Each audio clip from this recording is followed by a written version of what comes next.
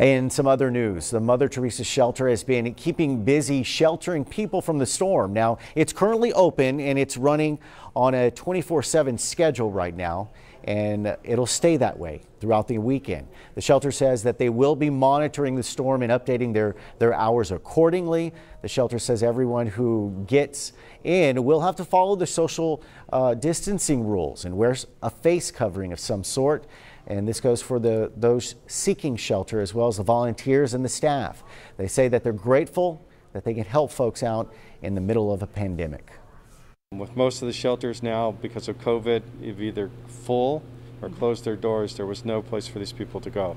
So we wanted to offer an, an opportunity for them to come in and, and shelter from the, the weather and its effects.